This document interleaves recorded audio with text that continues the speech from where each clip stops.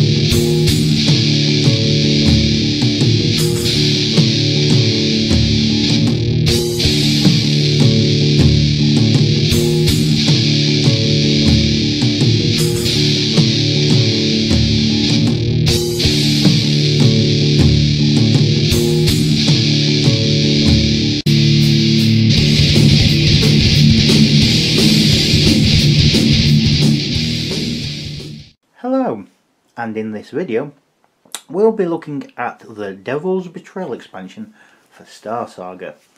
This expansion has you facing off against the Rebs faction, or Rebels as you might call them.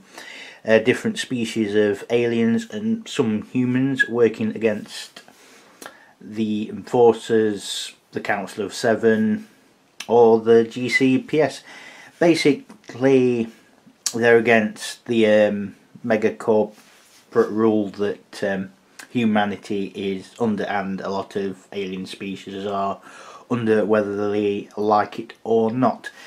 Now if you follow the expansion to the letter it does say you should use the devil as one of the mercenaries unless you're using your own custom made mercenaries of course in which case it's entirely up to you.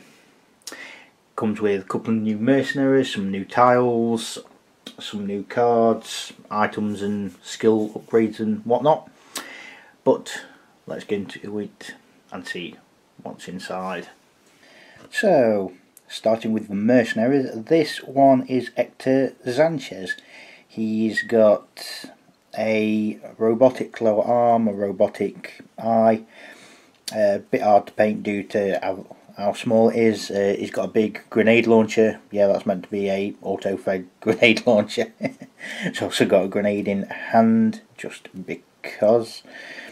Um, not bad. Not the best mercenary, I have to say. But considering who he comes with, I think it's a fair thing. This is the other mercenary, Nastanza. Now, if you've been into the Warpath universe, or indeed Deadzone for any length of time, especially in first edition and quite into second edition, you'll know who Nastanza is. She is one of the best snipers in the game, and it's the same in Star Saga.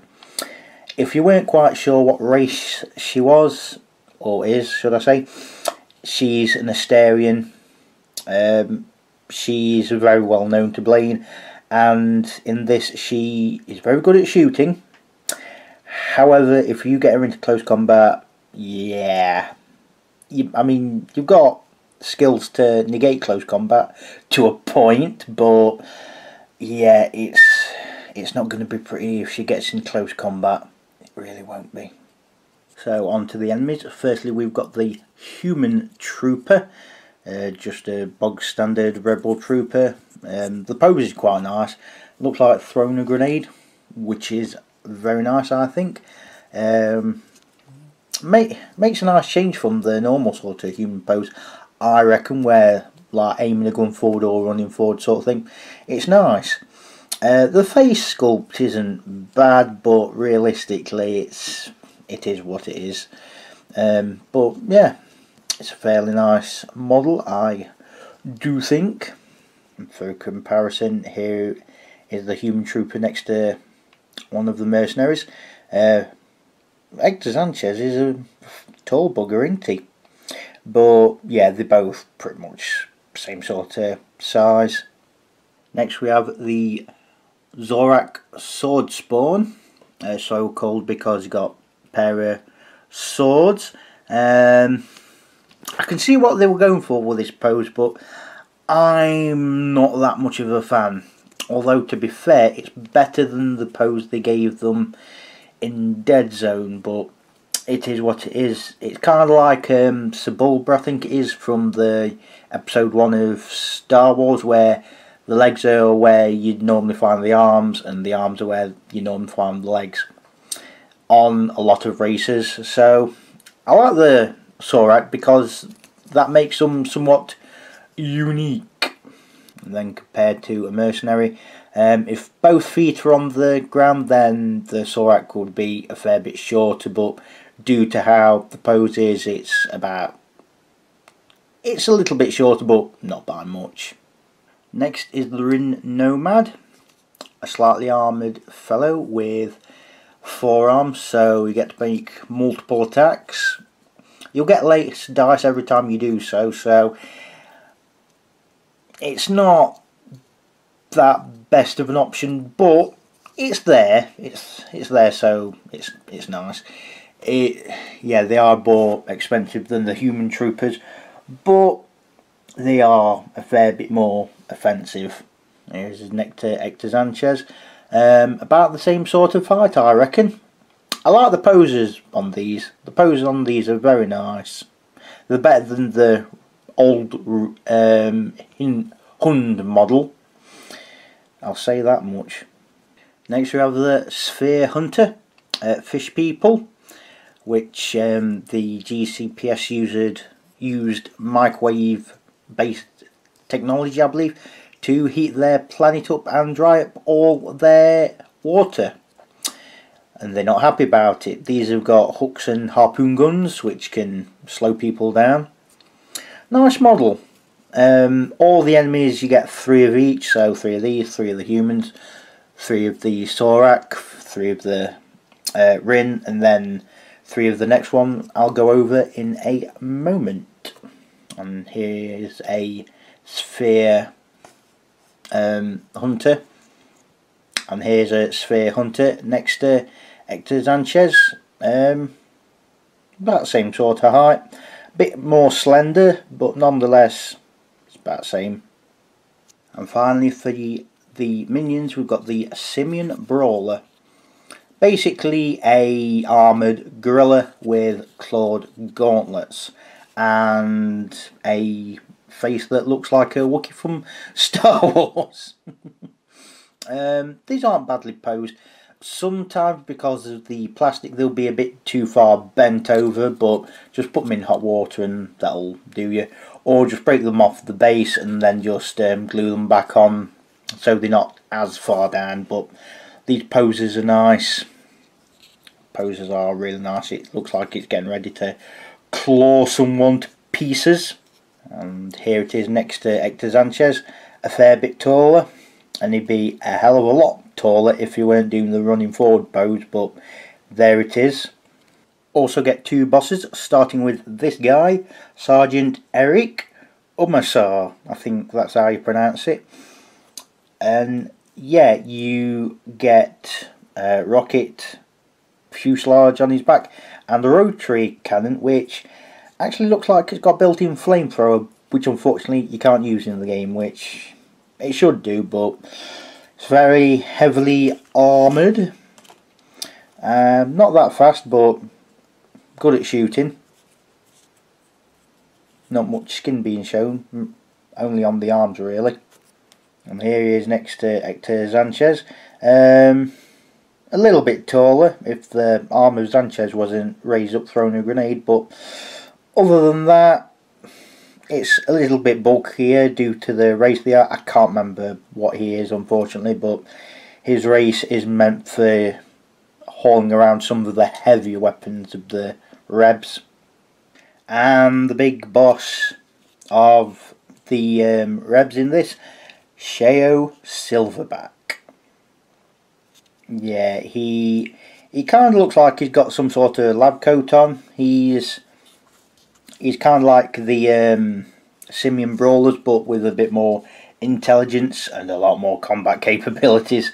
Yeah, he is he is worth respecting because yeah, he ain't that easy to take down. Believe me. And here he is next to Hector Sanchez. Like I said about the Simians, a hell of a lot taller. You also get the stat cards for the two mercenaries and the stat cards for the two bosses. I won't show you everything because that will spoil too much. And stat cards for all five of the minions you'll be facing in this expansion. You'll also get some cards for the Nexus deck, which is exclusive to this expansion. Like other expansions, you'll know it's for this expansion because of this little icon that looks like a wrench. Now the reason I'm not showing you any of the items or skill upgrades is because, well, it's just giving you extra ones and you'll I think it's better if you find them out when you play the game. You also get a multitude of different tokens such as these which is unstable ground which you'll get onto when you play the expansion. Uh, on the other side they've got darkness ones which will become apparent in this expansion when you play them.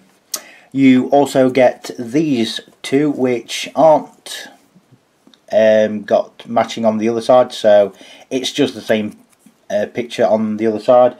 Uh, this one is the power generator, this one is the water pump which will be explained like I said when you play the expansion.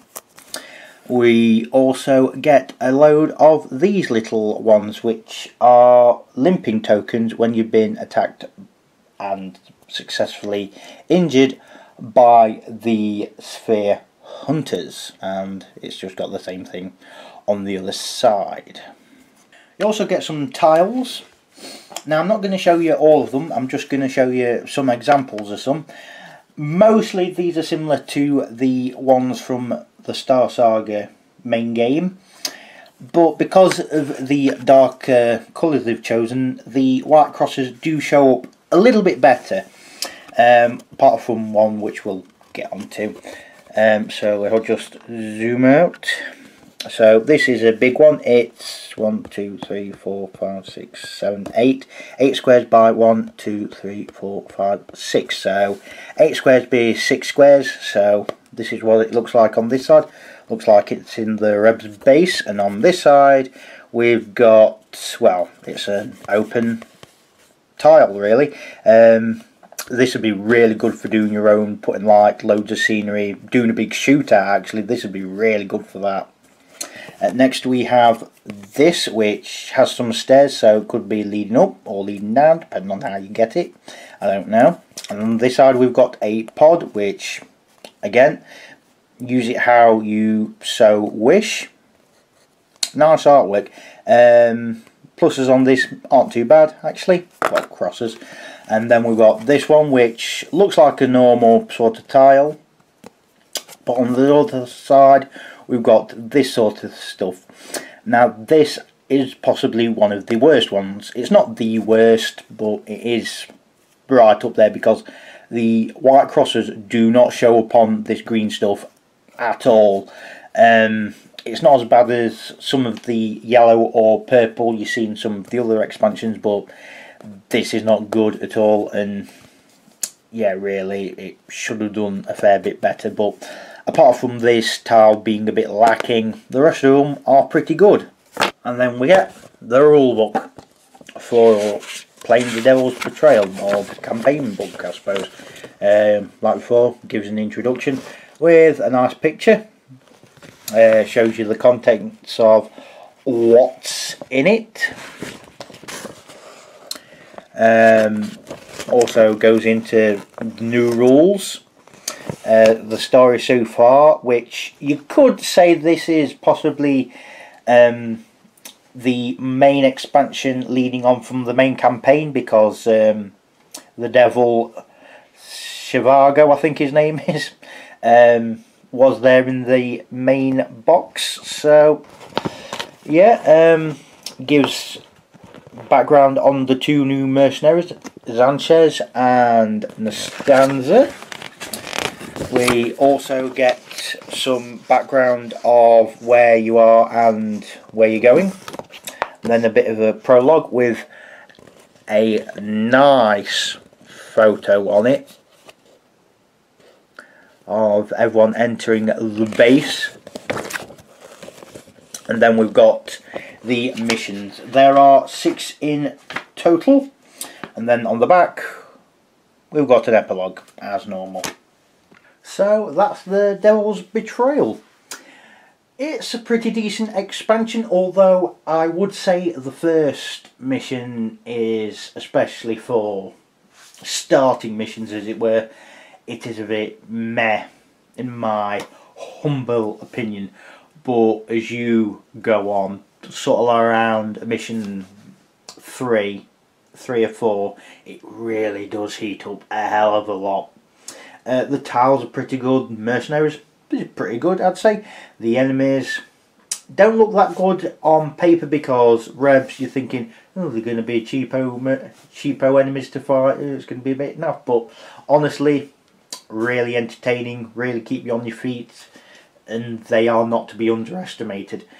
Um, again like other expansions this goes between 25 and 40 quid depending on where you buy it from um, I'd say overall quality this is possibly the best one because bits aren't missing. Some of the tile only really one of the tiles is pretty bad art wise well, game design wise. Um, and everything else is there what you need. So that's it for this video. Goodbye for now